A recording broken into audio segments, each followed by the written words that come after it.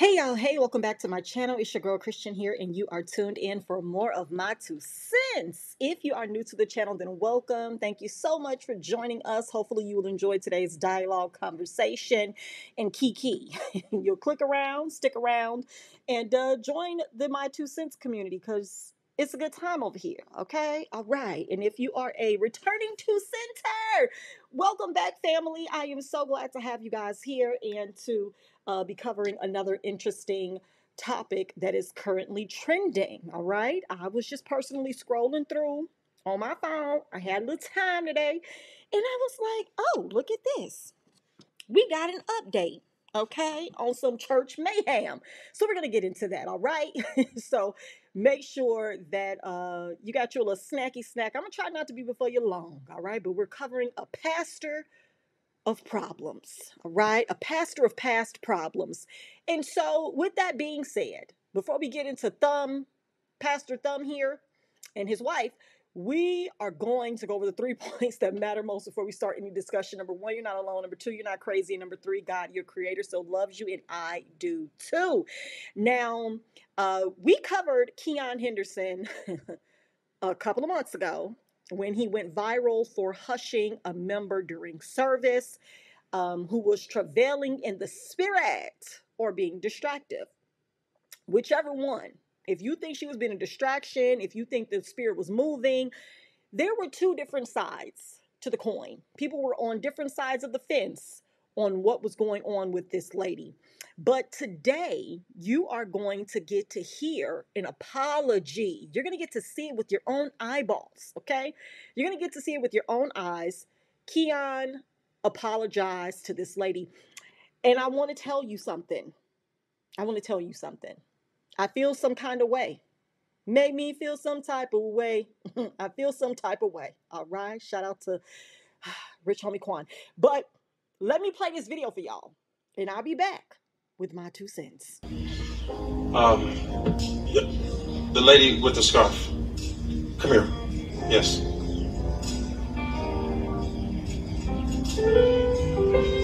Come here. Natalie, give me a hug.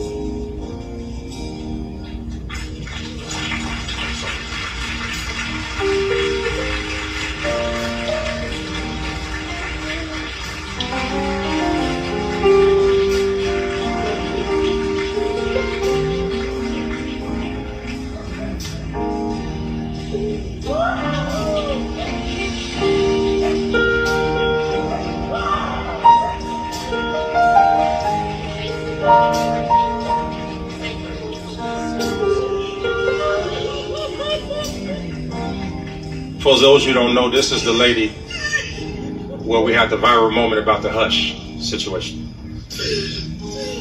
I, I had no, look at me. I had no idea that my actions would cause you that much pain. And I want to say in front of this body that I am so sorry for the trouble that my actions caused. Bless you. I'm so sorry. All right. Let's leave this place. Everybody say restoration. See, it. it Okay.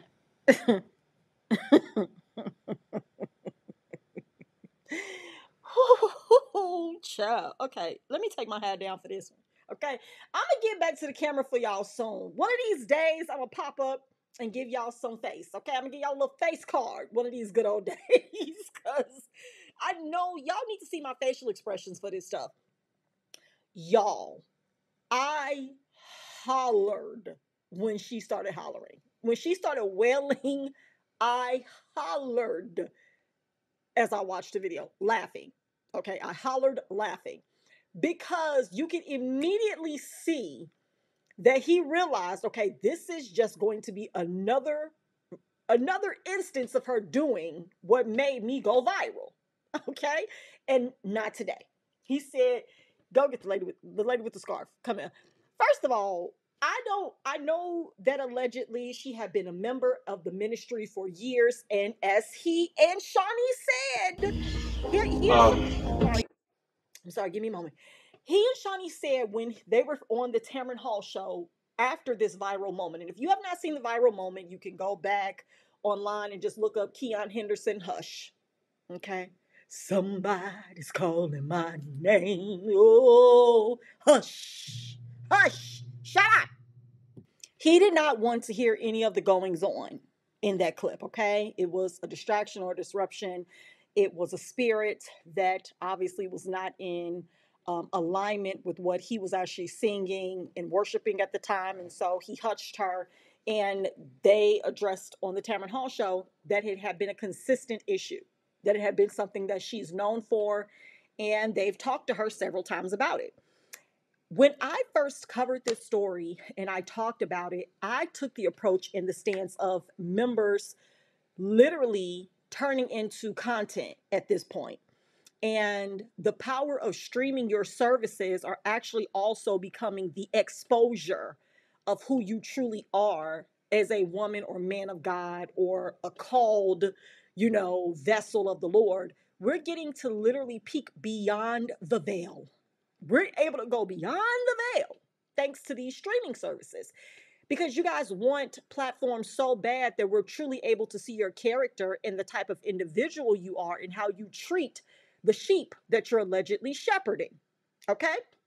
And so we were able to see that, and a lot of people didn't like the way that Keion handled her, the way that he hushed, you know, and shushed her, snapped at her. I think he snapped at her and told her to stop, be quiet, or whatever.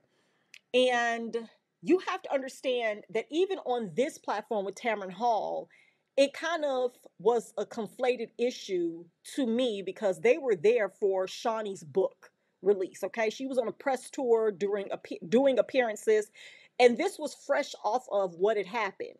And with my media training and background, being in radio, I know how this goes.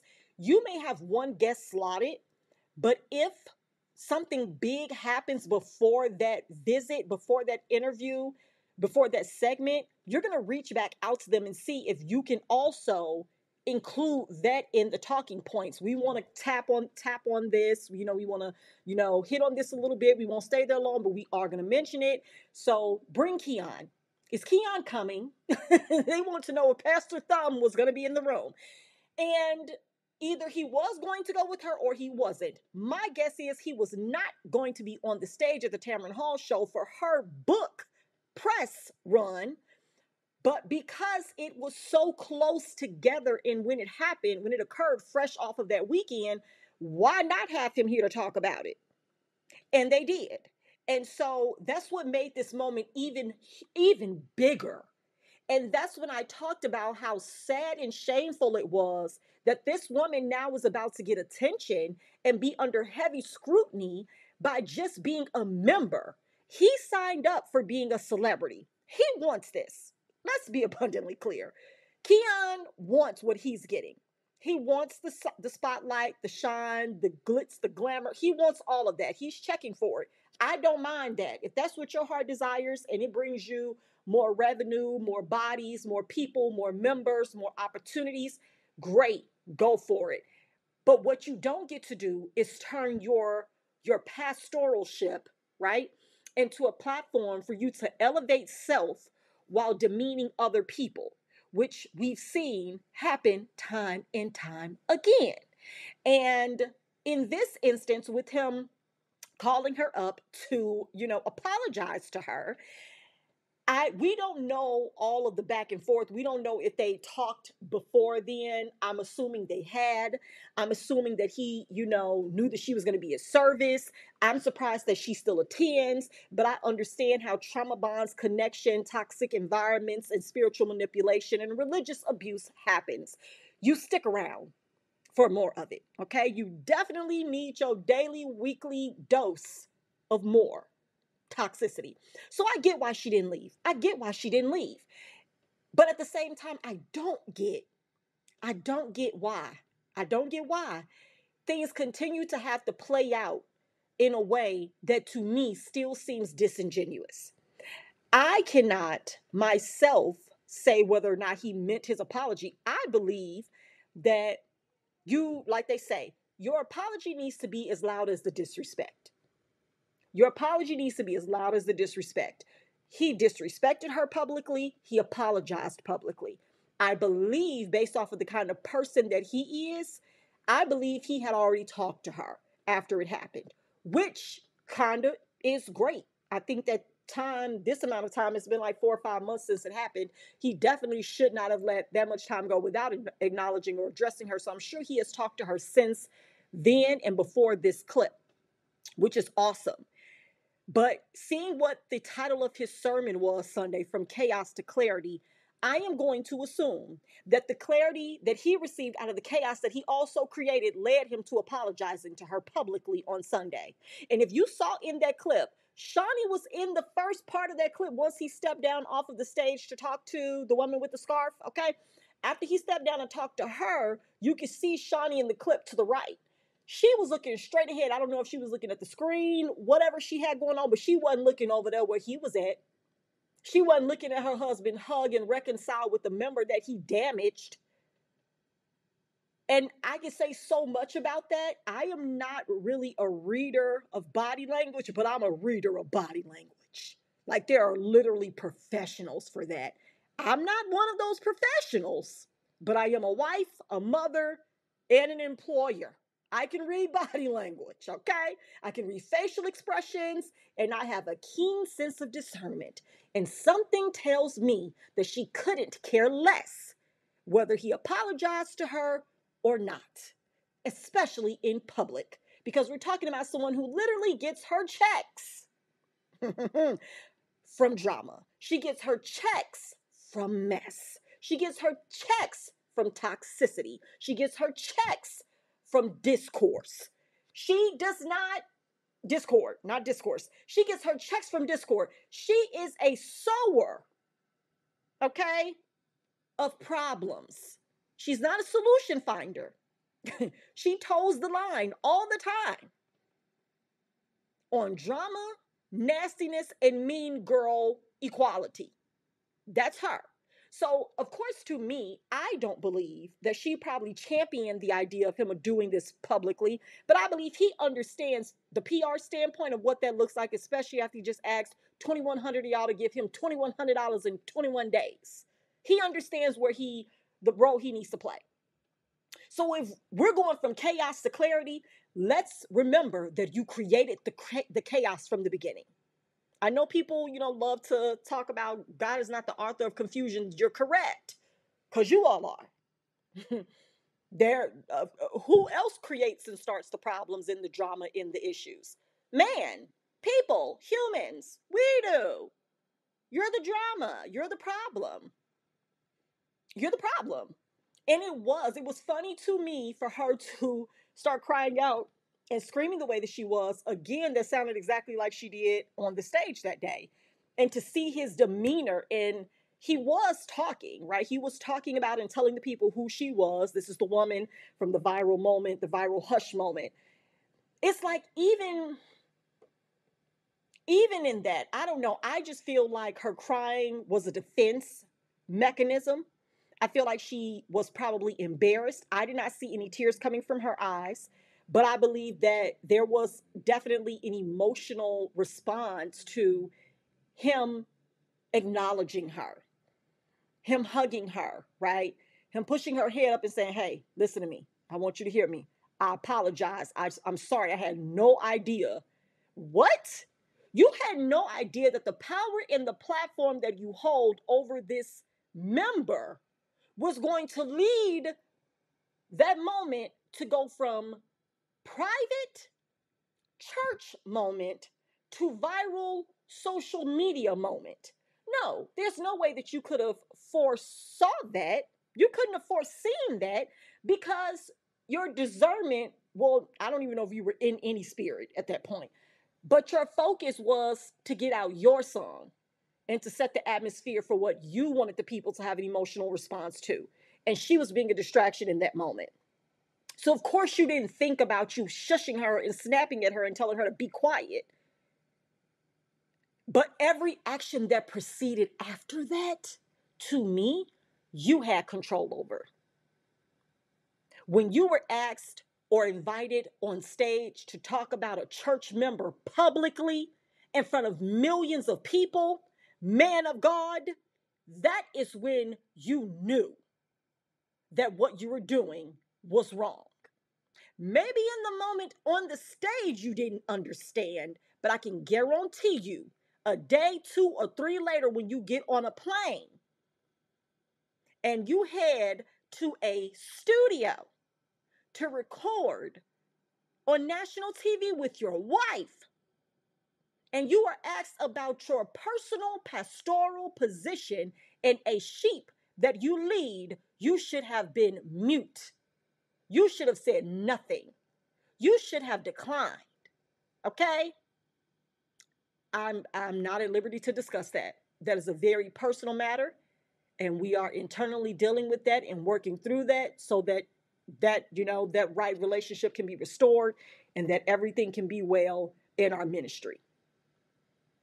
It's crazy. It's it's crazy to me. It's crazy to me how people don't make the correlation of what their actions are and what people's responses are to their actions.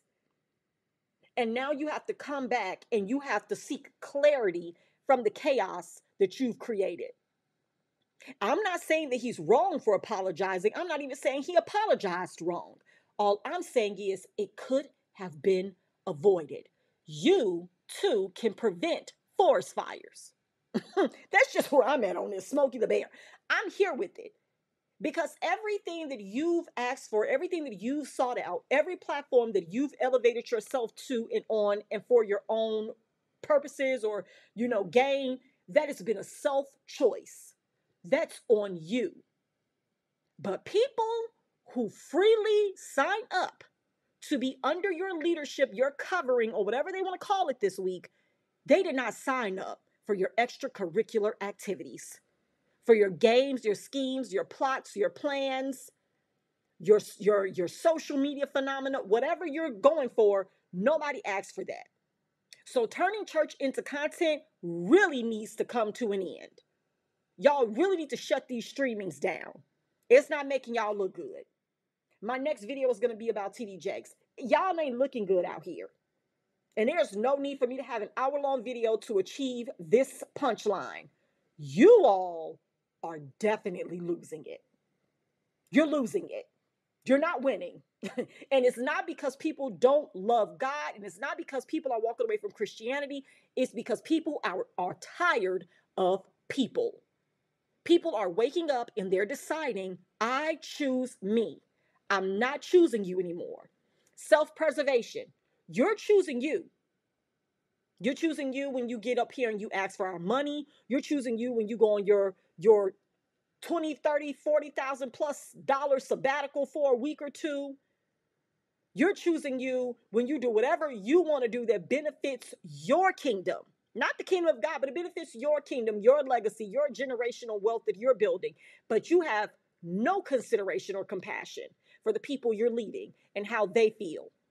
And just as I said before with TD Jakes with the Diddy situation about how he put his members in a bad position to even be in alignment with a person like that, who even had whispers of behavior that Puff Daddy are, is known for.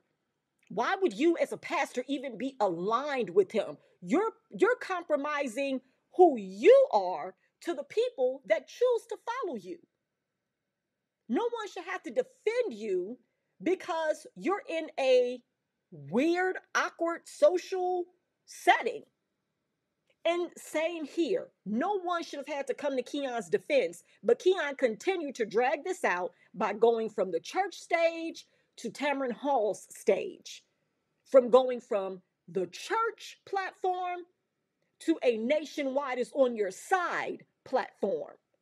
That was totally unnecessary. As a pastor, no member should ever be content. No member should ever be a conversation outside of the environment that is meant to be safe and to cover and protect them.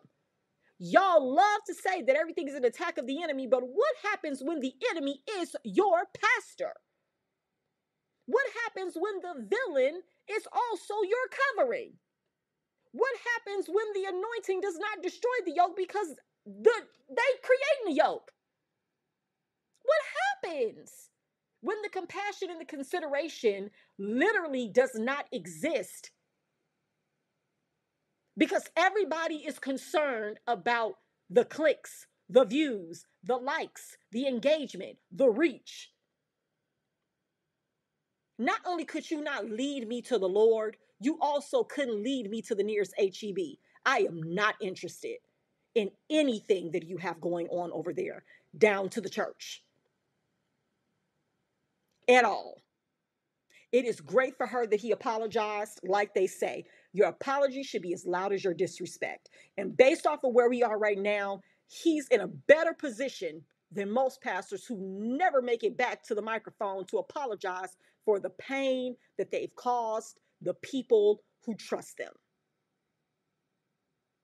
There are so many people in church who have literally never gotten the apologies they deserve, who have never had the wrongs righted, who have never had their names cleared, who have never had their hearts repaired, who have never had their love returned, who's never seen or experienced reconciliation between themselves and the true idol that they continue to put on a pedestal week after week. But they keep signing up for more abuse and more mistreatment and more berating more disappointment, more manipulation, more control, more isolation. And you start feeling like it's you. What did I do? Oh, I need to fix something. God, empty me of everything that's not like you. Purify me, cleanse me of these feelings, Lord. I know I shouldn't be feeling like this. You're feeling like this because what you're feeling is real. you're feeling like this because what you're feeling is accurate. You're feeling like this because what you're feeling is human. It's natural. Hurt, disappointment, pain, suffering. It doesn't feel good, especially when you are coming into a place that is meant to accept you for who you are and how you are. And if at any point they cannot do that, you should be released. I'd rather he asked her to leave the church than to continue to let her be there, knowing that everyone's talking about her, everyone's laughing at her, everyone's complaining about her. If that is such a problem for you, go ahead and release her to another ministry that can help her or accept her for the way that she is. Because the way that dumb people stopped clapping and stopped engaging after they the initial first hug, when she did start out, start again hollering and crying and whatnot, they was like, oh yeah, we over all of this. It's something to be said of the way that these churches are operating. It flows from the head down. Let's get into some of these comments and then I'm gonna go ahead and wrap this up for y'all. A shout out to Larry Reid Live because that's where I actually got this video from. And I was intrigued when I saw it. I was like, hmm, he circled back with the Gucci. He said everything is Gucci. and uh issued that apology. All right, so this comment here from Maya says, I'm confused and, and disturbed by this. This guy went on national television. Yes, Maya. That's what I'm saying. That's what I'm saying talked about this lady in front of the world to see, and she continues to go to his church. Please explain this and help me to make sense of it, please. I just told you. This is how this this is how they do it. Shout out. Okay? This is how they do it. This how they do it. This is how they do it. They love to come back and get another cup serving full of humility. They love being humiliated. They love being humbled for some sick reason. For some sick reason. And I'm pretty sure they had to do quite a bit of damage control to convince her to stay. Or if something may not be right with her, I don't know. I just know, I know personally of a lot of spiritually immature people who are mature adults, like they can take care of themselves, their households, all of that. They can confront other people, cut other people off, have boundaries in place. But when it comes to church, baby, there is something lacking. Okay. They are not able to stand on the same level of business that they can stand on outside of church. When they get in church, they are putty in the hands of the man that holds the microphone. That's all I'm saying. Because I don't understand either. National television, this man sat and talked about a member. He may not have said anything horrible about her, but he did definitely disclose that they prior they had prior issues with her for this same thing. Never should it ever have been discussed. The same kind of client attorney privilege that is exercised out here in these streets, you should have pastor member privilege. Don't speak on me. Don't speak on me. Okay? Don't speak on me. Where is the scripture for members to be protected? Because y'all love to throw out, touch not thy anointed, do thy prophet no harm. Keep your mouth off the man of God. You cursing yourself. Where are the curses for the men and the women of God who keep putting their mouth on the members? When are we going to get some coverage for the members? The pastors have a lot of coverage and protection. It is definitely giving whole life policy. This is not term, baby. This is whole life. They are getting a full policy of protection. Not y'all. Y'all just out here with liability, and it's you. You're the liability because they are covered. Next comment Rodney said, Y'all complained so much when it happened. Now he comes back to apologize, and now it's manipulation. Make up y'all minds. Like, dang, what happened to forgiveness, repentance? I'd hate to sit next to y'all in church. Rodney, guess what? Good news. You'll never have to sit next to me because I'm not coming. But in the event that you sit next to somebody else who is also sharing the same perspective as me, it's not that we have a problem with him apologizing. We understand, at least I do, what a PR correction looks like. We understand that, hey, just given the title of his sermon, okay, from chaos to clarity, I understand that he understands he needs to correct some things. Maybe the same conviction spirit spoke to him that told him you shouldn't just cap people at $2,100. Some people got $21, some people got $2. That same spirit came back and was like, oh, and another thing. that girl you told to hush, talk to her this week, tell her you sorry. I guess that's how that spirit works for him. It just come through and do like addendums to the message that is sent. And then he correct it the next time he get up. Um, next, Rhonda, Rhonda, Rhonda got some sense. He realized it was not good for his image nor his ministry that he that he had that he was not being empathetic nor compassionate and did not present a welcoming pastor for new members to his church. If you cannot scream in church, where can you scream at? Okay, the apology is a day late and probably a million dollars short. Baby, that apology definitely came with a deficit. we do not have all of our donations. Okay, look at me. I can apologize. All right. Now he has some more apologies to issue because he also needs to apologize for that disgusting statement that he made while begging for money about people owing him. Okay, you owe me if I've ever kept you from self deleting. You owe me if I've ever encouraged and inspired you to start that business that you would not have started without me. Okay, run me, just give me my money. That's what it was giving. Keion just wanted that money. But Rhonda, you are absolutely correct. He realized that this was not good. I got to make that right. And I will also say, you guys, conviction is real. Now, I won't say conviction by the Holy Spirit. I just mean as a person, like as a human, you know when you've done wrong. You also know when you've done something and you either want to make it right or you're just like, look, I'm just going to make sure moving forward I never do that again it's always that fine line of do I want to repair the relationship with the person or am I okay with where that ends? But moving forward, I'll never do it to another person again. And I think for him, as a pastor, he wanted to make that right publicly, which I believe he absolutely should have done.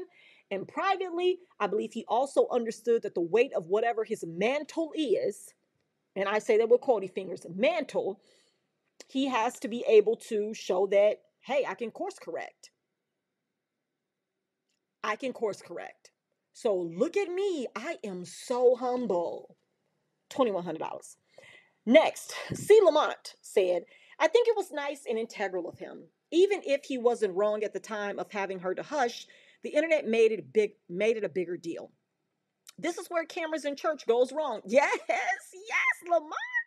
That's what I'm saying. Turn the cameras off. Put the camera down. Put the camera down. Turn it off. Turn it off. Put your thumb over the camera on your computer. Turn it off.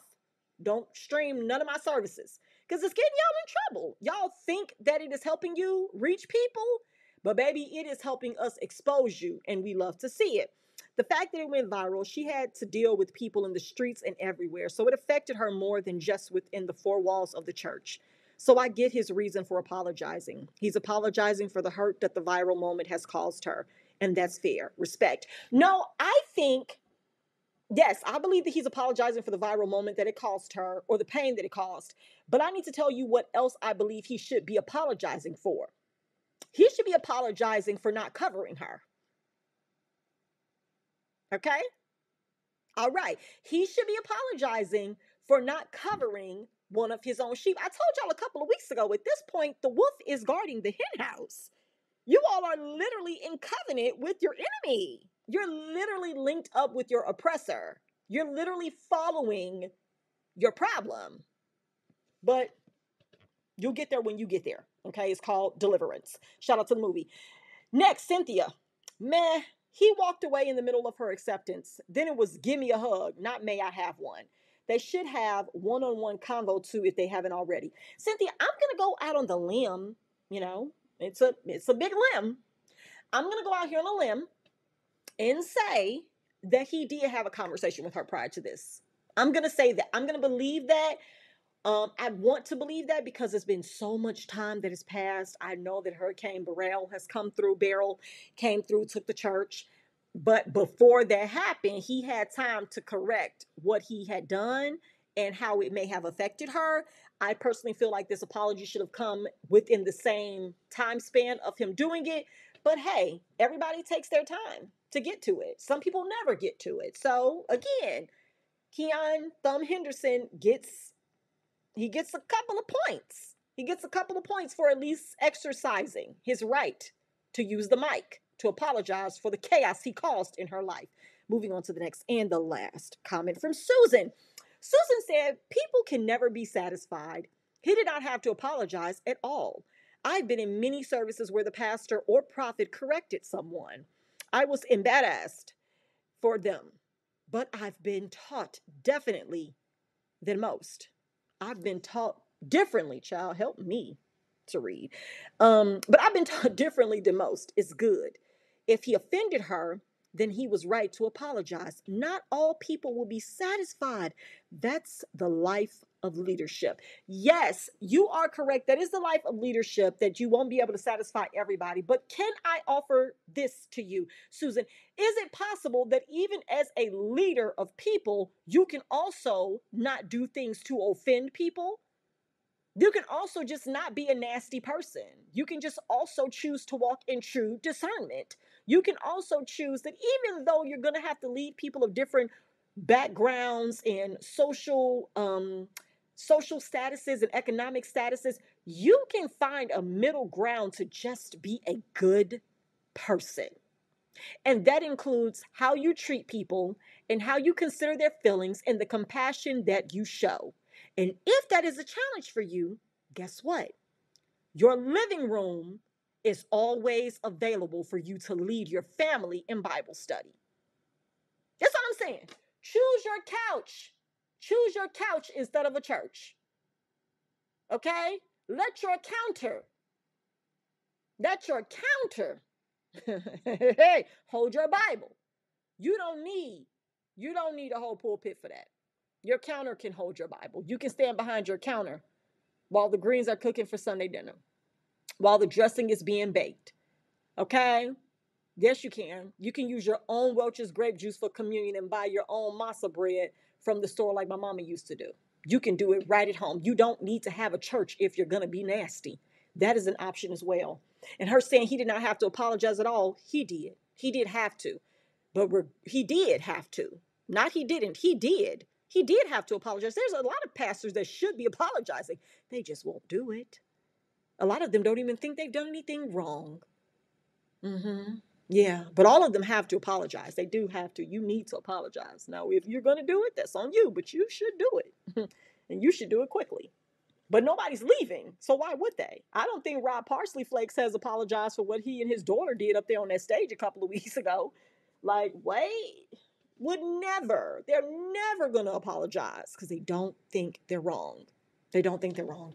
Um, but yeah, that's that's my two cents on what occurred over the weekend um, down to the Lighthouse Church. I don't know if this was held in um, Lakewood because I heard that he told his church members last Sunday that it was time to go home. They were going back home. This ain't our home. This ain't our stuff, and we got to get up out of here. That's what he told them that it was time to leave Lakewood and they was going back to their church. So I don't know if he got um a couple hundred dollar donations. I don't know if he got all the twenty one hundred dollar donations. I don't know if that check came through from his from his insurance policy, but he found a way to get back over to that building. And I'm eh, well, not that building. I believe they have another facility that they were able to use. Either way, I don't know this man's business. I just know what they keep on posting online. And at any point in time, y'all can turn them streaming cameras off at your earliest convenience. I promise you, whatever spirit was moving before you connected them will still move when you disconnect them. We do not need to see you anymore. We don't.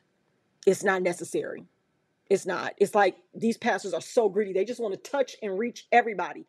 I don't know of any streaming Catholic services. I don't know of any streaming Lutheran services. I don't know of any streaming mosques. I don't know any streaming Jehovah Witness churches. It's just Christians. Oh my goodness. Y'all send me like an email on a Monday.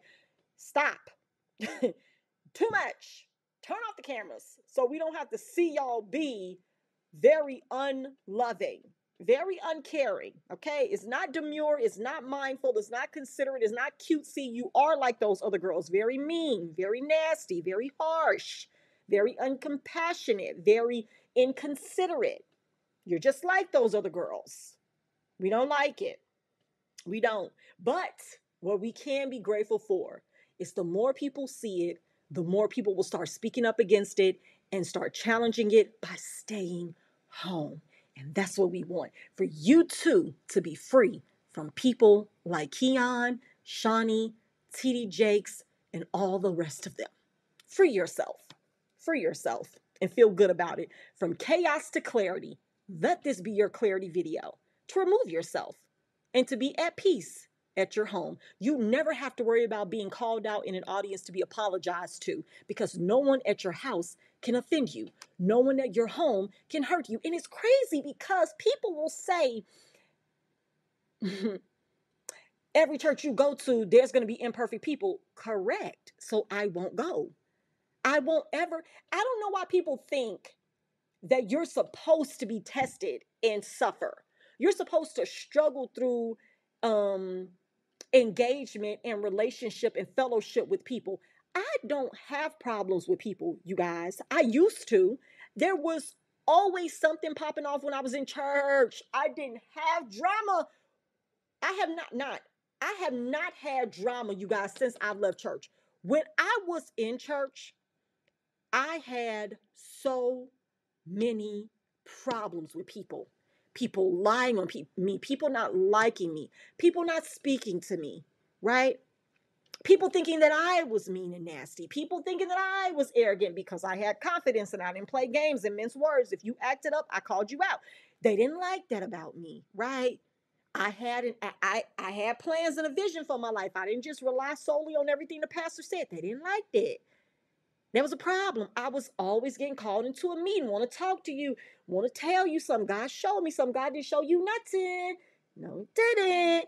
Leave me alone. Keep that to yourself. Right? There was always something to talk about, something to pray about, something that God has showed somebody. Be quiet. Be quiet. Leave me alone. Stop seeing stuff about me. Don't see nothing about me because I'm okay. I'm not bothering you, so don't see nothing about me. But since I've removed myself, I don't find myself getting called. I don't find myself getting texted at the church. Can I, can we talk?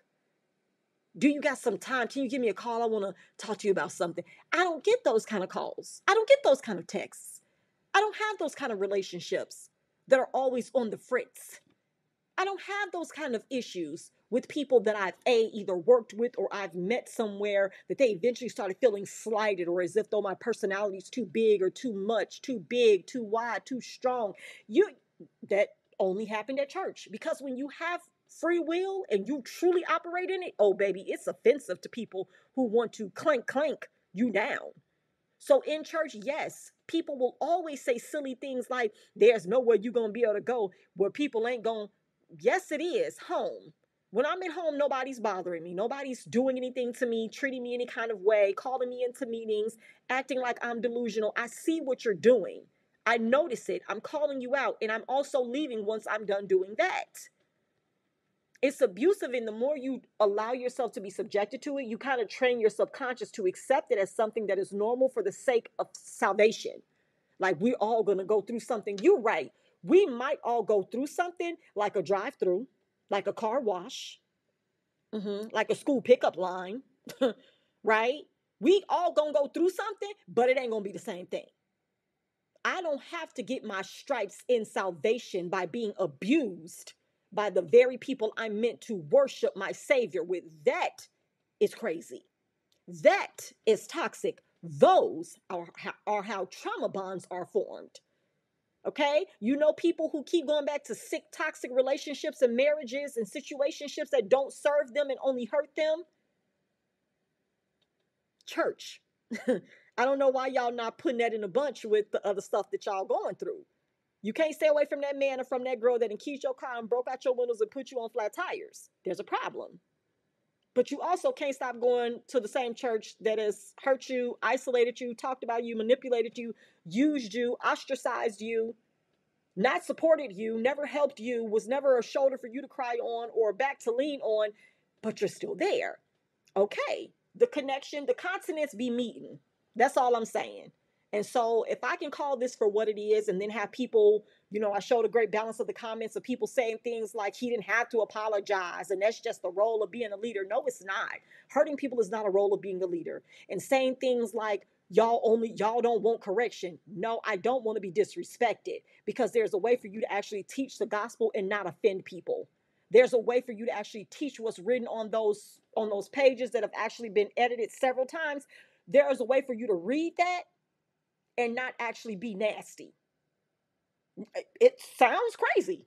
I know it sounds far fetched that you could actually just read the scripture and go home. But no, they have to add a little sprinkle of offense on top of it and then gaslight you and tell you they didn't do it, that it's your fault, and you're the one that needs deliverance from strongholds and from um what do they call that? When your heart hard hardened, you're you have a hardened heart. They'll turn on you you seeing who they are and calling out what they've done and how you've been treated, you have a hardened heart. You need deliverance. You need healing from that. No, I just need to get in my car and go home. it's very simple. So, from chaos to clarity, that's right. From the church to your couch. That is the clarity that you need on today. Hopefully, you have enjoyed the video. Drop down in the comment section below and let me know what you thought about Keion's response, Thumb's response to um, the member with the scarf, I hate that he did not call her name. I'm assuming he's talked to her before or by now. Um, but hey, maybe he didn't want to say her name publicly. I, who knows? At this point, it doesn't even matter. But we got the apology, or she got the apology, people. So let's uh, let's just uh, at least assume that if it wasn't for PR damage control, it's because this message shifted his heart in the moment and he wanted to make it right. So let's stick with that narrative because it just deads the rest of this. All right. Um, like the video, subscribe to the channel. We would love to add you to my two cents crew. Until next time, I will see you guys in the next video. Bye.